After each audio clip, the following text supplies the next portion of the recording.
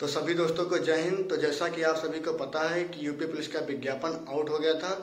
Total vacancy साठ हज़ार दो सौ चौवालीस है और आवेदन स्टार्ट होने थे 27 दिसंबर 2023 से, जो लास्ट डेट है वो 16 जनवरी 2024 है।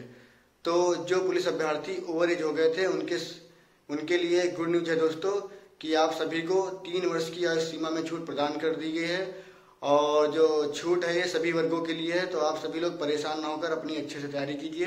भगवान ने चाहा तो आपका सिलेक्शन ज़रूर होगा दोस्तों। अगर जानकारी अच्छी लगी हो तो वीडियो को शेयर करना ना भूलें। जय हिंद दोस्तों।